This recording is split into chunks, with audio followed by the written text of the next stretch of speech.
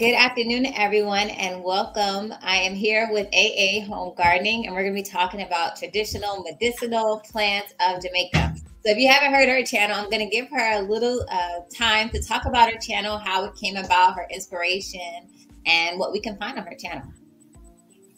Thank you so much for the invitation and everything, guys. Thank you. Sam Anne Marie from AA Home Gardening. My inspiration to start YouTube actually came from my eldest son because I always garden, but I don't like social media. But he was the one who encouraged me to start YouTube to share all the love of gardening with you guys. And as a Jamaican, even though I'm in the UK, I try to grow tropical Jamaican things. So you can see I'm trying to grow yam. I grow sugar cane, which is doing really, really well this year. And I grow all the herbs so I can go straight to my garden to the kitchen. So yes, that's so that's how I started with the garden because of my big son going online with it. Okay, awesome. So what growing zone are you in now? Equivalent to US 8B. 8B. Okay. And so what plants do you find do well and which ones maybe don't work as well? Traditional brassicas because I'm in US, US, UK. So all the cabbages, all the kale, all those things they do well. The problem is sometimes we have good summer. Sometimes we're not guaranteed a summer in the U- UK. It's not like you guys where summer is summer, winter is winter. We don't have that differentiation. So we could have a good summer where sweet corn would do really, really well. Potatoes would do really well. And if you're fortunate, you can have sweet potatoes.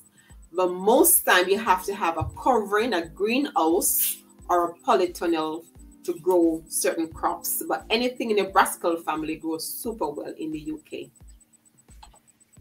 Okay. Uh, so, do you have any tips for beginner um, gardeners, especially if they want to grow some of the more tropical plants? Yes, start with one.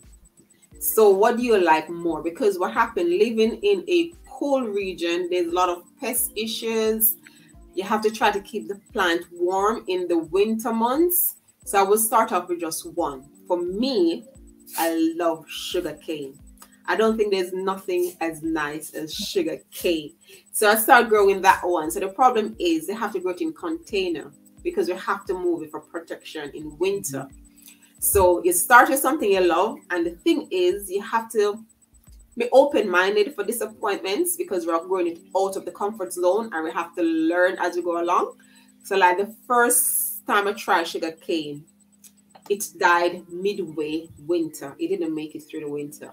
Yes, I was disappointed, but I realized what I did wrong. So I did more research. You know, sometimes you can just change a container from like a plastic pot to a terracotta that can hold the heat and the excess moisture, water, and things like that, which make it so much better. So just try with the main thing you love and be patient because it does take much, much longer than if you're in tropical country. Things like guinea or grow guinea here takes time to germinate, even though guinea would be something that's quick in Jamaica within a week, week and a half. You will see movement, whereas sometime over here it can take up to a month. So all you need is patience. Yeah, I love that. I love that tip about patience. Um, and yeah, you have to be. You have the garden teaches you really to be um, flexible and You know, so you might try something that should not work, but it works, and so yeah, it's different for every person. Yeah. Uh, so when you want to try to find some of your traditional ingredients, you have a hard time then it depends on where in the UK you're um, located because like if you go some part in London, you have a wider variety of black, you know, Caribbean people. So you find that some of the supermarkets would cater for some of the ground produce. If you go further north in like England, you don't really have much ethnic. Mm-hmm. So you'll find that it's harder to source your food. So wherever I live and make sure if if I have to go once a month or whatever, source out where I can get my produce because I have to get my Jamaican produce, especially my seasoning to make sure my food tastes or it should taste. So yes. okay, yeah. So is there I know like in the US we have some ethnic aisles or ethnic grocery stores. Um, do you have that um We do have it, but sometimes it's so tiny, just one shelf. That's oh, it. Okay. You know, it, it, it, is very okay. If you, as I said, if you're like in the biggest city, you probably can find an entire aisle. Mm-hmm. If you're more further out, you sometimes get one shelf only, and sometimes it's so minimal that if you go midweek, there's nothing. Yeah. Okay. So it's hit or miss. So that's why uh, you like to grow some of your favorite plants. And I'm so glad you have some of them to show us. So which one do you want to start with first? I want to start with my peppers. Okay. So this is the traditional oh, cayenne pepper. But this is way, way tinier. If you can see the size of it, really tiny red peppers that are ready to be harvested. So, you know, in our Jamaican culture, we always use Scotch bonnet pepper. That's it. So once you mention rice and peas or red pea soup, we're going to talk about the pepper, which is nice and it have a beautiful flavor. But the bird eye pepper, we go that in Jamaica as well. But that is cayenne. You know, the cayenne have more health benefit. So I tend to use the cayenne, the little pepper show you instead of the original Scotch bonnet pepper. So you know with the cayenne, it helps with the digestive system and it actually have a nice flavor as well. So just like you're making your soup, you just put the cayenne pepper in there. You don't have to cut it for the seeds to get super hot. So just boil it off and then you get the flavor and everything of it. And it actually helps with pain relief as well. So you're using it to season your food. It's helping you with your digestive system. If you have a nagging pain somewhere, it will help with that as well. So it's really, really good. And apparently it's good for weight loss. I haven't seen that yet, but it's good for weight loss as well. So cayenne pepper is really, really good. So we always, we Jamaican love pepper in our food. So it doesn't matter what we're cooking. I think probably the only exception is porridge. So whatever you're cooking, we like the heat, you know. And in Jamaica tradition, we have like curry goat or jerk chicken, things like that. The pepper have to be hot. Okay. So, a lot of pepper. so you said you keep the season when you usually use them. So we keep it. You keep the seeds inside, or you do you take the seeds? Yes, out? yes, yes. I like the seeds. I like the kick. Do you usually? Yes, I have like a mortar. Oh, okay. or you could blend everything. Oh. But if I'm making like for the kids, sometime I will put it in like when I'm sauteing the onions, put it in to get the flavor, then take it out. So I don't want it too hot for the kids. And then for your portion, now you can just cut up some on top and things like that. Okay, yeah, that sounds good. So which one is hotter, the Scotch bonnet or the cayenne? It's a different kick. Oh, okay. where this one you get it straight away, straight away. Sometimes with the cayenne, you're eating it first, you're like, it's not hot, and then it just kick in suddenly. Okay. So it's just a different effect. Oh, the, the hot haze, but yeah, both of them depends. Okay, awesome. Um, and so which herb do you want to talk about next? We have to talk about two together. They don't go separate. Okay. So that's the scallion and thyme. So this is what we call spring onion. In Jamaica, we call it scallion. Okay, and to give you a story, when I came to the UK, I went to one of those um, branded supermarkets. I was trying to find the spring onion, but I only knew it as scallion. And I was there searching, could not find it. Everyone I asked, they were like, I don't know what scallion is. so when we're making our traditional food, we do use the normal onions, but as Jamaicans, we tend to lose a lot of scallion, especially if you're like frying fish or you're making rice and peas you basically just cut off the root, wash it properly, take off the older leaves, then you crush everything, put it in the oil to get all the flavoring out of the scallion. And when it's all brown and everything, then you take that out, you know, and then you put in your seasoned fish and everything. And when you bind it in Jamaica, they normally put it together like this. It gets scallion and thyme as the one cost because they go hand in hand. Oh and, wow, that's really interesting. And yeah, I'm glad you talked about those ingredients because she shared her recipe for the. Let me make it bigger. Uh, for the her Jamaican jerk sauce, as you can see her over here, and she shared her delicious recipe. And so you make sure you check it out in Everyday Herbs, okay? All right. So which one are we talking about next? Oh, you have something just before, okay. just before I'm finished. So this is seasoning but it's also medicine. So if you have headache, and it's actually a refreshing taste. So if you have headache or anything like that, this good with digestion as well. So you just boil, just take about this portion of it, and you just make a nice brew. You can just add a bit of honey. It helps with the headache, and if you're constipated as well, it's really good. So it's medicine and it's seasoning. Yeah. Okay. Awesome. And so the other one, mm-hmm. this is called Cuban oregano. In Jamaica, we sometimes call it broad leaf mint as well. When you rub the leaf, so you have, I take a leaf off. This is one of the baby leaf. And when you just rub it and against, it's like, it's velvety. It's a bit, it's like a cactus succulent plant feel to it. It's quite fat. The aroma. Mm -mm -mm. if you could smell this, it is so nice.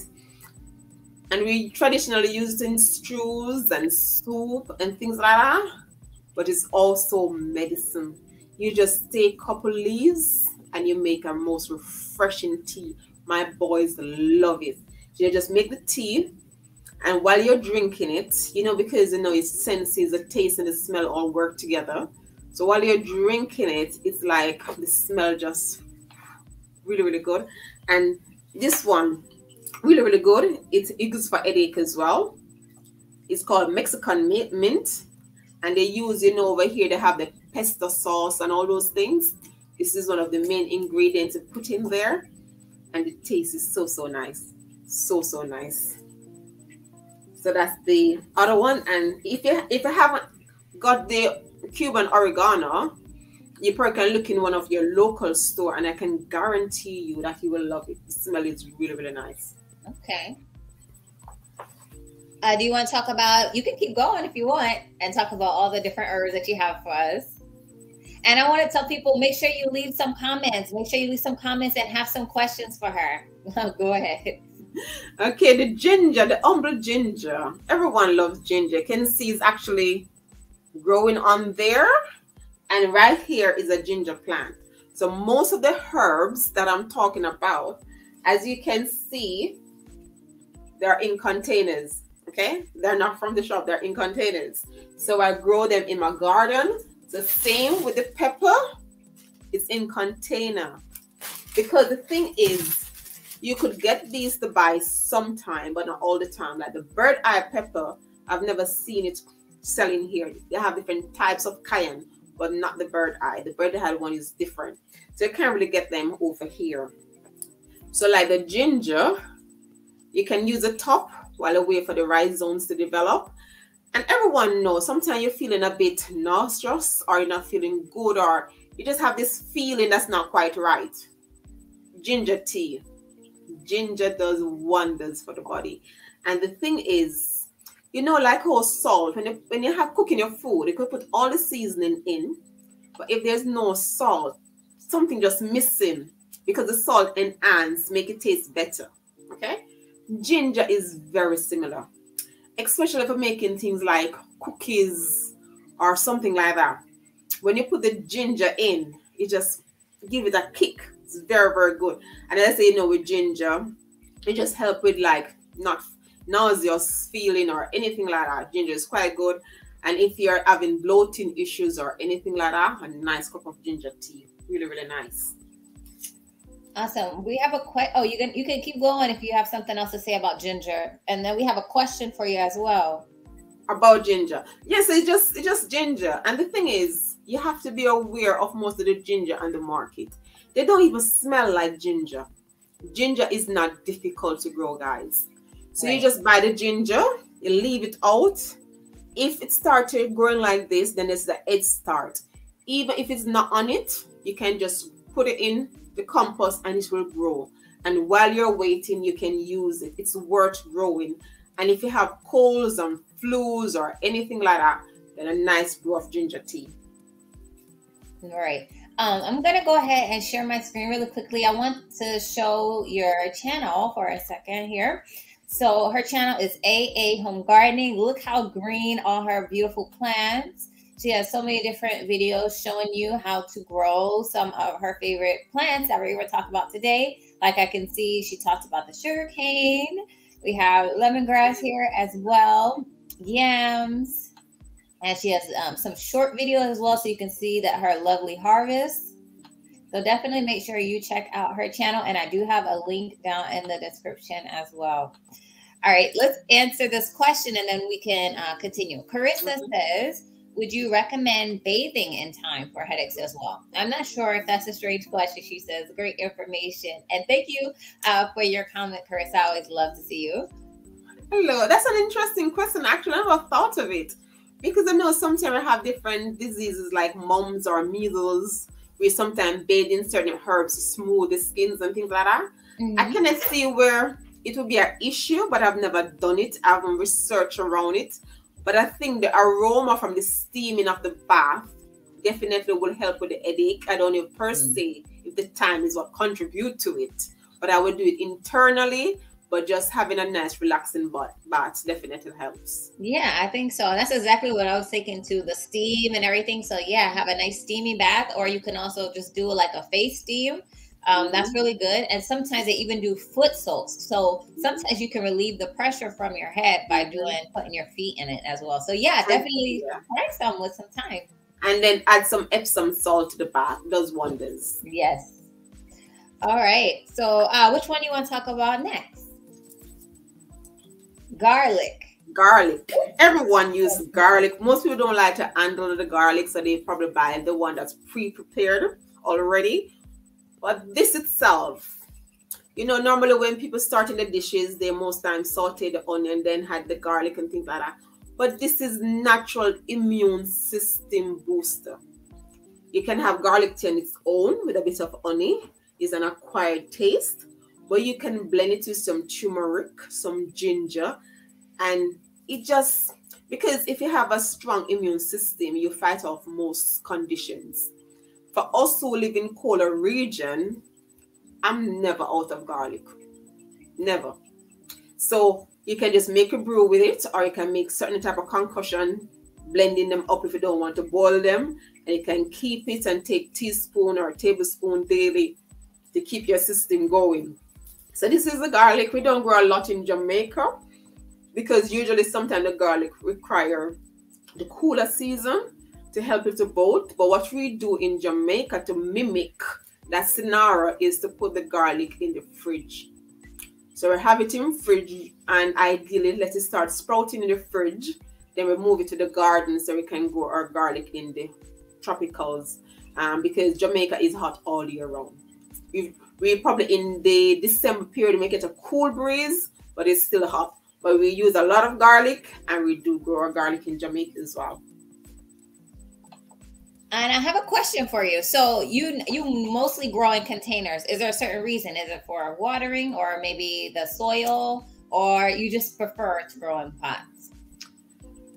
There's pros and cons. For all the tropicals, I don't have a choice because I have to move them for covering when winter comes. Right. So if I have a lot more challenge doing it because it's like you have lots of insects like aphids and spider mites and scale insects and all those things because it's in a compact situation where you just want to go free, but I'm restricting it. You know what I'm saying? Right. And then when you take it indoor in winter, then the environment is a bit too humid or too dry or lots of things going against it. So there's a lot of challenge growing in container, but I don't have a choice because things like my sour sop those are truly tropical. Things like the sugar cane, the yam, the dasheen, the cocoa, you know, those things. I grow them and they're in container, then I move them indoor for winter.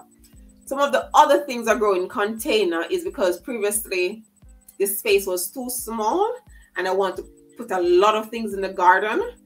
And I have to put it in containers. So to put some on the patio area, some in the walk area, and different different things like that. But I do grow some in the ground as well. Correct me if I'm wrong. Do you have a polytunnel as well? Yes. Okay. and and greenhouse and things like that. But previously okay. I didn't have any. So right. all I did was like some year we have frost really, really late. In my zone, the first week of May, frost should be finished. But sometime end of May, we still get frost. So what I did before I have polytunnel was just to have the normal bin liner. So you watch the weather. If frost is predicted, I just take the normal black bin liner, any bin liner, and just cover the pots that they're in or cover the area they're in to mimic a greenhouse scenario and that will protect the plants from the frost. Okay. Uh, hey, Gina. Gina versus Gina just came in. Thank you for joining. And Selah, she has a question. She says, Are you using the five gallon container?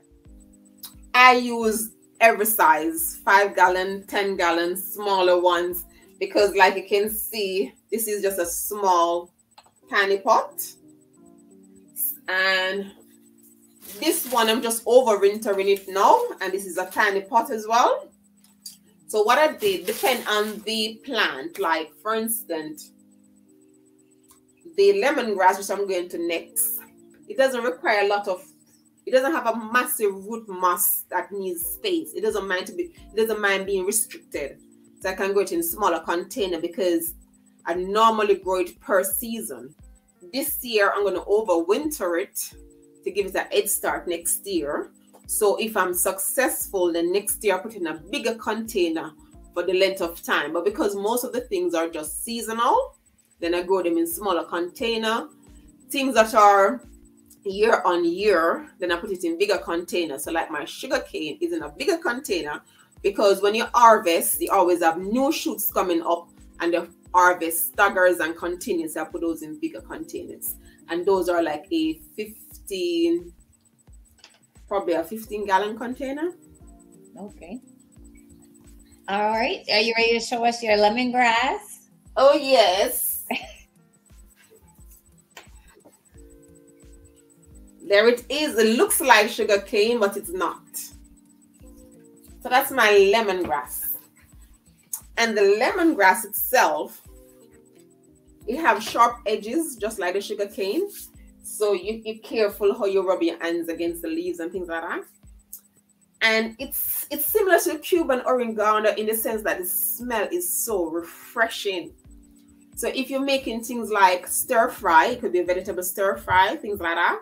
You just take a bundle, you just crush it up to release the fragrance, then you put it in, and then even at the end of the same dish, you can take some and you make you a brew with it and the tea is so nice. If you go to like thai restaurants or anything like that they normally have lemongrass on the menu. But you can use it as a mosquito repellent as well. Because you know in jamaica we have a lot of mosquitoes are there. And you don't sometimes want to put the chemicals on the skin and all those things to get rid of the mosquitoes. It's natural. You just use the lemongrass like just at the bordering of the house. You put the lemongrass right there. Mosquitoes don't like it. It's really, really nice. So yes, I love my lemongrass. My lemongrass is really good and it's also good for relieving pain. So if you're having some joint pain, you can make um you can drink it as it is. I don't like any sugar in my tea, even though I have natural sugar like stevia that I'm growing as well. But you can put a bit of onion in there and it helps with your pain. If you have like a swollen leg, you know, have to be careful. We're not doctors, and usually they're underlying condition, but this can help with swelling as well, and it helps to regulate the blood pressure. It is so good. Mother Nature give us so much things to help us. So so good. All right. Um, are you going to talk about turmeric still too? Yes, I have my turmeric plant outside, and I forgot to take it. So it's similar to this, but it's a broader leaf. We don't tend to get turmeric powder like in the in the west over here, we can get turmeric powder to the sprinkle on our dishes like that. We normally get the rhizome just like the ginger, and then we just have to get like a mortar, crush it up, and then when we're making our dishes, then we add it to it, or you can actually crush it first, then put it into a sieve, juice it out and then use the juice. And most people would know that turmeric is good for inflammation. It could be inflammation of the joints, the muscle, wherever it is. Turmeric is so good. And the thing is, you can make turmeric milk as well. There's so much things you can do with it. And it's a natural, you know, if you're making things like Jamaican patties and you want that nice yellowish color, you don't have to use food coloring, you don't use anything like that. You just use the turmeric powder and you get that nice color. And it's, it's, it's nice. I like the taste of it, you know. I put it in my soup, I put it in my stew, I put it in so much things because I know it's helping my digestive system as well. So I use a lot of turmeric. But in Jamaica, we get the, the best way because we normally get the fresh one, not the powder one that's over here. So I grow my own as well, and then I can just pick and leave and harvest when I like it, when I want it. Okay, awesome, awesome. So I'll give you guys some time to add some questions here. I do have her channel linked, so it is linked in the comments there, so you can check it out. Um, and I also have it linked in the description if you are watching afterwards. I wanted to ask you about your mortar and pestle. Do you use a wooden one or do you use like um, a stainless steel? Which do you prefer? I use like a stone, a proper one. A stone, okay. Did you manage to take it from me? A proper one. So, like this week, I was making I'm making gingerbread man for my boys. The boys don't like the stringy bit in the ginger. So I took it, scrape it because if I grate myself, I would not scrape it. But I bought the ginger I was using. So I just scrape it, wash it, put it in the mortar, crush it properly, and then take a sieve and take the juice to make the gingerbread man. So I use a proper one, which is super, super heavy. Oh, okay. Yeah, and huge. And it stays used. so yes, a proper one. so yeah, because sometimes you know with the like pimento, I don't have the pimento tree, but I cannot go without talking about our pimento. Because when you go to jerk or anything, we call it allspice. Some people call it allspice, the pimento. But sometimes when they get the powder form, it doesn't even smell like pimento the smell is so vague. So you get the, the seeds, then you grind it, and it's much better to use that one than the powdered one because most of these seasoning, when they process it into powder, um, the strength of it goes very, very quickly. So that's why this is very important. So you know, you're making pesto sauce with the basil, the parsley, everything. You just go to the garden, you harvest it, take a bunch in the hand, wash it, and then crush it up yourself. Right. But yeah. Of, yeah. And so most of the when you're using these herbs for seasoning, they're mostly fresh. Mostly is yes. it 100 percent fresh usually if you can, right? Yes. You oh yes. Okay. So awesome. I have oregano, I have basils, you have parsley, I have my loads of the other seasons, some at the front, some at the back. So wherever I go, there's seasoning. There's my ginger, there's my turmeric, there's my mint, there's my pepper. You name it, it's in the garden. Right. Okay. So I don't see any questions. So I'm gonna let you go. I know your family is hungry and waited on you. Uh, so um, thank you so much. Thank you very much for having me. Yeah, and sharing um, your expertise, uh, your expertise and showing us the proper way to um, grind up our uh, seasonings and how to use them. All right. So thank you everybody for joining, and we'll see you guys in the next one.